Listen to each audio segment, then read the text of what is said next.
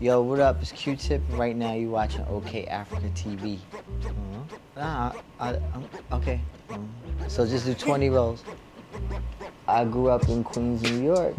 One. My mother's from Montgomery, Alabama. Two. My dad is from the, is from Montserrat, from the West Indies. Three. Grew up in Cleveland. Four. I really want to know about where my people come from because I feel like it just answers a lot of questions for me. Five. Spiritually. Six. You know, there's a bunch of generational psychological things that could be answered as well. Seven. It's a lot of intrigue for me. Eight. I've never been to Africa. Nine. I believe that I'm like Zulu. Wow. From the South African Zulu. I also believe that I have some Asian in me. How? I think like maybe Mongolia, or something like that. I think. Mm.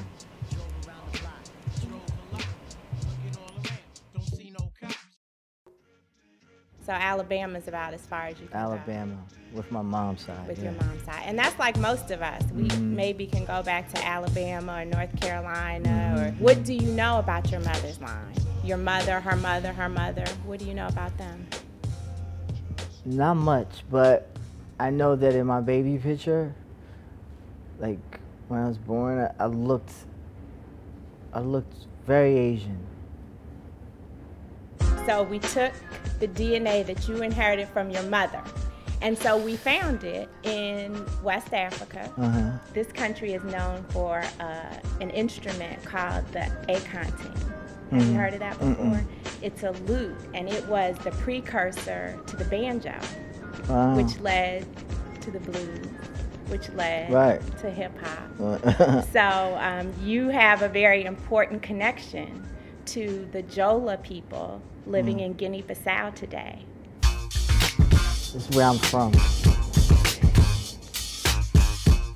Could you tell me about the people, the, the Jola people? I could tell you, but we actually have some Jola people here. Are you serious? I'm serious. so I'm gonna let them tell you because they can do a much better job than I can. Wow, that's a surprise. This is gonna be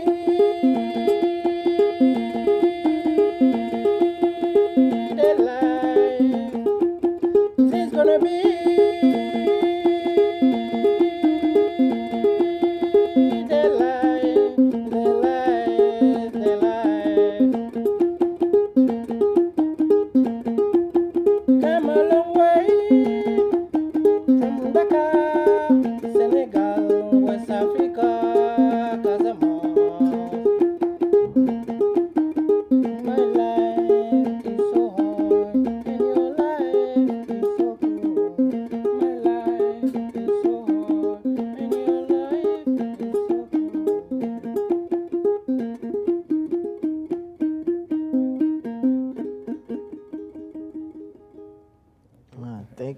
thank you. thank you. So much, man. Man, I gotta get get you playing that on my record or something, man.